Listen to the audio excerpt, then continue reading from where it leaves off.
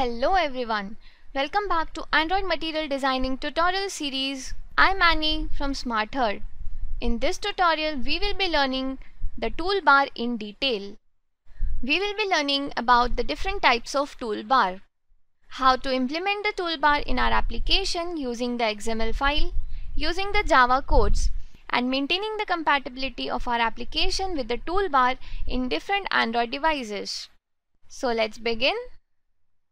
Now before introducing ourselves to toolbar, let us talk a little detail about the action bar. The Android action bar was introduced to maintain a consistent navigation across the application. That is, to make the navigation across the various views and activities in our application easier. Adding widgets to the action bar made use of the important function easier. It also helped in prioritizing important actions. Now let us talk about the toolbar. Toolbar also does the same. It is used to give our application an identity. We can give the application title in the toolbar. It helps the user to indicate his location in the Android application. Because there is a title in the toolbar, we can change the title according to the change in the activity and location of the user in the application. Same as the action bar, Toolbar is also used to assess to important functions and actions in our application. We can provide different icons like the menu icon or the overflow menu which can be used as shortcut to perform various actions.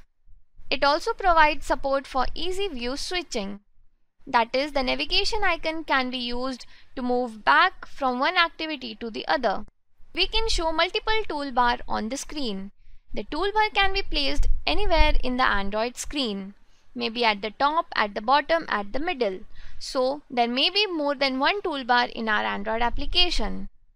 Now moving forward, let us learn about the toolbar in little more detail with a pictorial representation. In this image shown on the left side of the screen, this is the toolbar. In this toolbar, there is a navigation icon on the top left Below it there is a image view and beside the image view there is a title and the subtitle. This toolbar in this image is a big toolbar.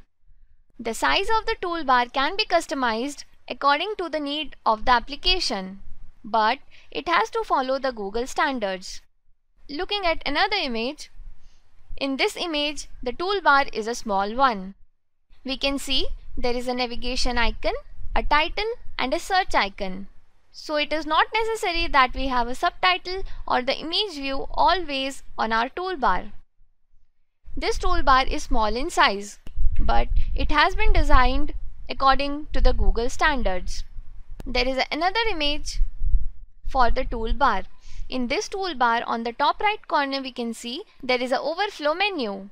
But on the first image which we had seen there was no overflow menu. Besides that, it is same as the first image for the toolbar. There is a navigation icon, there is an image view, the title and the subtitle. So guys, this shows that we can customize our toolbar according to our need and according to the necessity. We can add more than one icon as the shortcut in our toolbar or there may not be even one icon in the toolbar. Let us go through few more characteristics of the toolbar. The toolbar is compatible for API level 7 and above.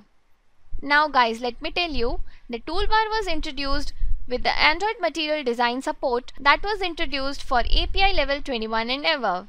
That is for the devices with Lollipop version and the above version. Before the toolbar was introduced, we used Action Bar as the app bar in our application. Hence, the toolbar is compatible for API level 7 and above. It is because we can use toolbar as action bar too. It is similar to action bar. We have already discussed about its features that are same as the action bar. To use toolbar as action bar for devices with API level below 21, we need few methods to implement it. That is set support action bar and set action bar. The set support action bar method provides the backward compatibility for our Android application. Whereas set action bar can also be used to use toolbar as action bar. Now guys, Another important feature about the toolbar is that it is a view group. Now what is a view group? View group can have its own layout and can be placed anywhere on the screen. There may be multiple views within the view group. It has its own layout and there may be custom layouts inside the view group. It can be placed anywhere on the screen. The view group contains custom views. There may be multiple views as the child view. In this image on the left side, we can see there is a navigation icon on the top and the title and the subtitle are having the vertical linear layout. Similarly, we can have the relative layout in our toolbar and place the desired icons as per our need and as per our requirement. Now, the contents of the toolbar have predefined places. The toolbar may contain a title. On the left side in the image we can see there is a title in the toolbar. There may be a subtitle in the toolbar but it is not a compulsion to have the subtitle. If you need it, you put it. There may be the menu icons or there may not be the menu icon. There may be one menu icon, two or three as per the need. On the left side, we have two menu icons for the save and the settings. Instead of these two icons, we may have the refresh icon, the delete icon, the search icon and many more. There may be overflow menu in the toolbar. The overflow menu contains a list of items which when clicked perform the actions as defined in the application. In the toolbar, there may also be a navigation icon. We can see in this image there is a navigation icon on the left side of the toolbar. This navigation icon may be a back button, a refresh button or anything as you define. Now in this image we can see guys there is only one menu icon that is the refresh icon and there is a overflow menu. So guys we discussed that toolbar is compatible with the API level 7 and above. Now, for devices with API version below 21, the material design is not supported. Hence, we need to use the toolbar as action bar. Whereas, for the API level 21 and above, toolbar can be used. Hence, the toolbar can be categorized into standalone toolbar and toolbar as action bar. We will be proceeding with the standalone toolbar and after that we will be learning about implementing the toolbar as action bar. When the toolbar is implemented as standalone toolbar, the toolbar can be used as independent view group. That is, we can define the properties and attributes of the toolbar independently. Whereas, when the toolbar is used as action bar, all properties of the action bar is applied to the toolbar. That is, we need to apply the property to the toolbar via action bar.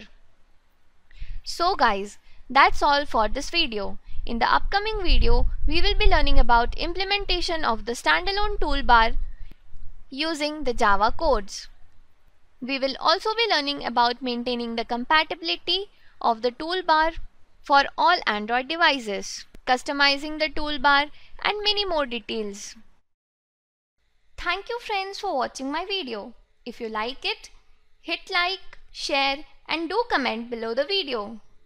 Take care and have a good day.